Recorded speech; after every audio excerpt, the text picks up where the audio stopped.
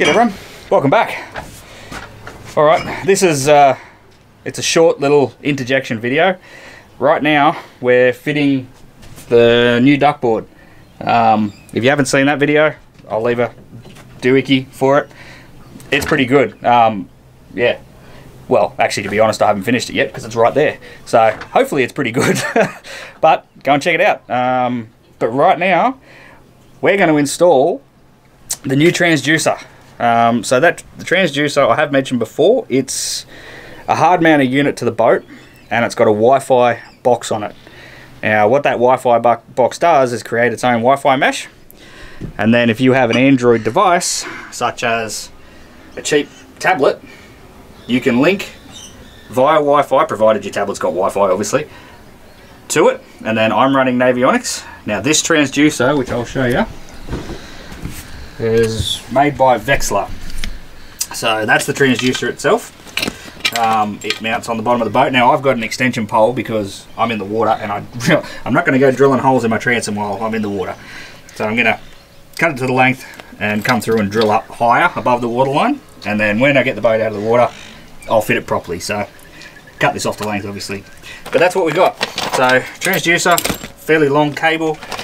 That mounts near a battery like I said, when you switch it on, creates a Wi-Fi mesh that relays all your depth. Uh, you got depth, contour, and water temperature. Um, all comes back to the tablet um, or your phone, so you can link it to your phone as well.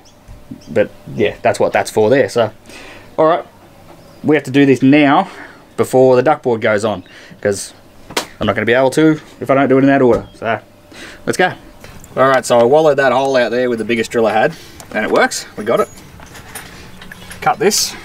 So it's to basically go down there. I'm to drill it and screw it. Oops, sorry, get you in the right spot. Screw it above the water line. So yeah, up here we might put three screws in it, and that'll be good. Like I said, it is temporary, only because I really don't want to. Uh, I don't want to drill holes in the transom under the water. That just seems like a bad idea to me. So that's what we're doing. On a side note, Drop speed, look at it. Oh, hang on, hang on. One barnacle. And he's gone. There we go. it just doesn't stick to it. It wasn't so freaking expensive, I'd do the whole leg in it.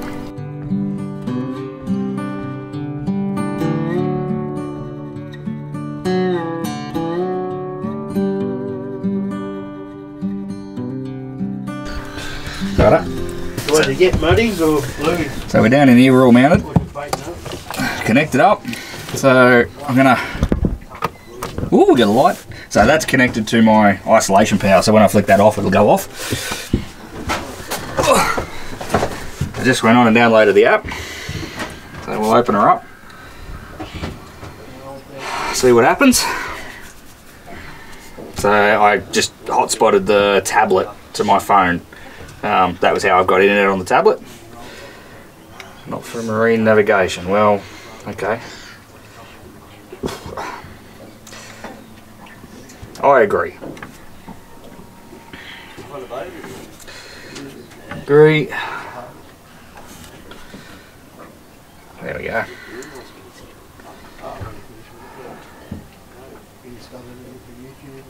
Uh, I don't know what's going to happen here.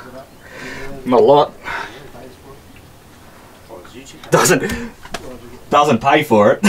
it helps, but it doesn't pay for it. Alright, there's no start. There's a start demo, but no... We go back. Press again to exit. What do we got? Let's go back into Navionics and see if it'll talk to the Navionics.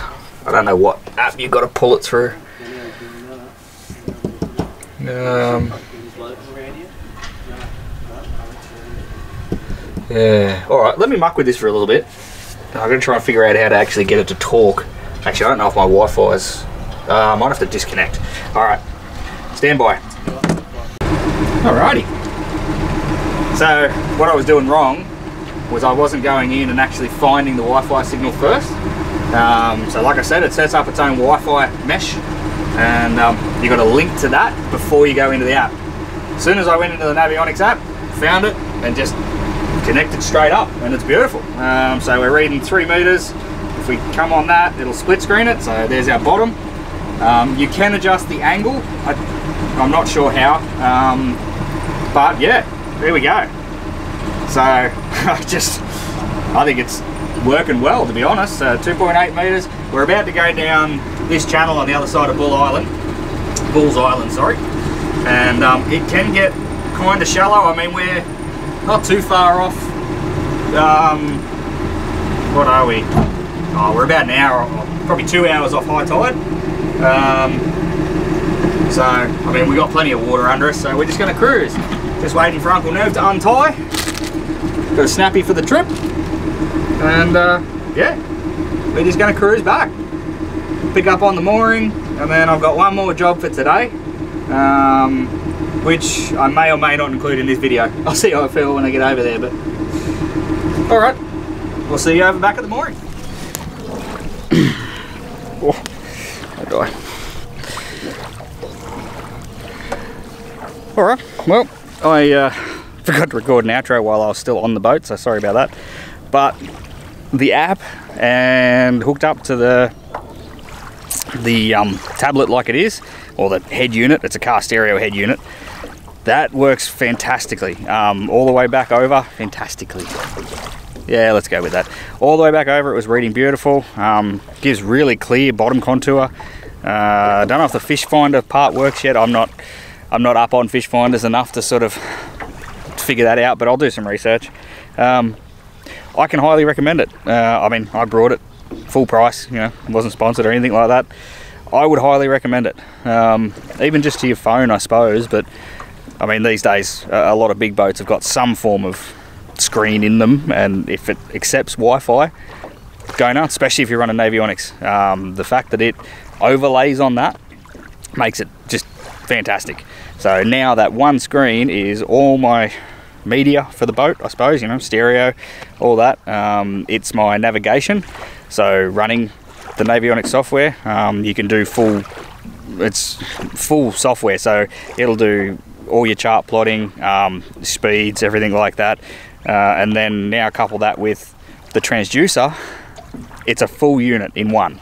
Um, the downside to that, and it hasn't escaped me, the downside to that is that if that one unit fails, I lose everything.